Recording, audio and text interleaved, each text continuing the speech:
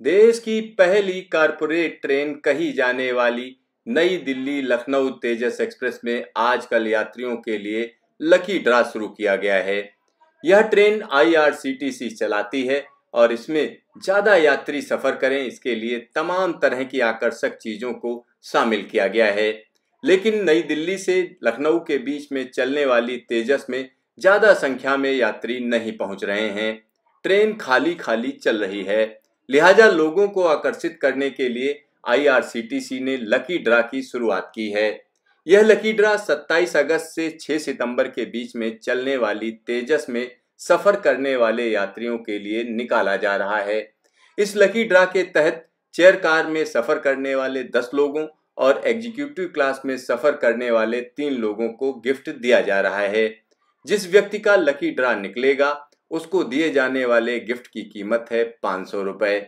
IRCTC ने train में यह लकी ड्रा शुरू कर दिया है और लकी ड्रा जीतने वाले लोगों को तोहफा दिया जा रहा है।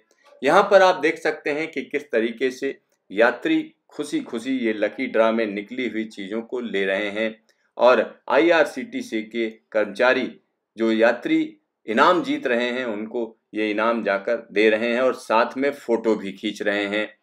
कुल मिलाकर ये मार्केटिंग गिमिक है, जिसमें ज़्यादा से ज़्यादा लोग आकृष्ट हों और कहीं ना कहीं इसमें, इस ट्रेन की अगर हम बात करते हैं तो कई खूबियाँ हैं। इसकी अगर हम डिब्बे की बात करें तो आरामदायक बैठने का इंतज़ाम है और साथ ही साथ इसकी टाइमिंग एकदम फिक्स है और जिस टाइम पर चलती है, अगर उससे ये लेट पहुँचती है तो यात्रियों को देरी से चलने की वजह से जो दिक्कत होती है उसके एवज में आईआरसीटीसी हरजाना भी देती है। और इस ट्रेन में खाने पीने की भी अच्छी व्यवस्था है।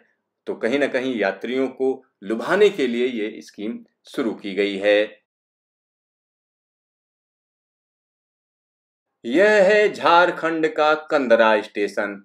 यहाँ पर रेल यात्रियों को बेहतर सुविधाएँ देने के लिए फुट ओवर ब्रिज बनाया जा रहा है। यहाँ पर आप देख सकते हैं कि किस तरीके से रेलवे स्टेशन पर गर्डर लॉन्चिंग की जा रही है।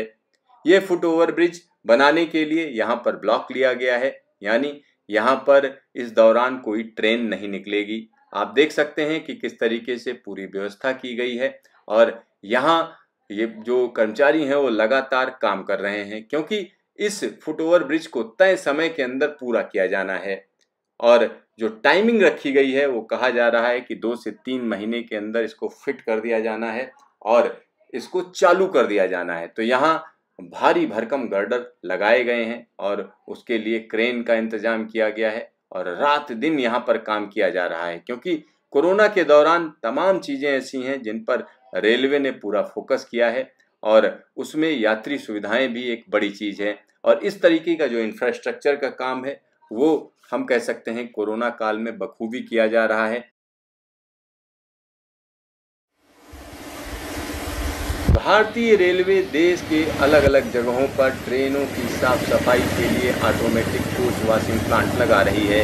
इसी सिलसिले में गुजरात के गांधी धाम कोचिंग डिपो में ऑटोमेटिक वॉशिंग प्लांट शुरू कर दिया गया है।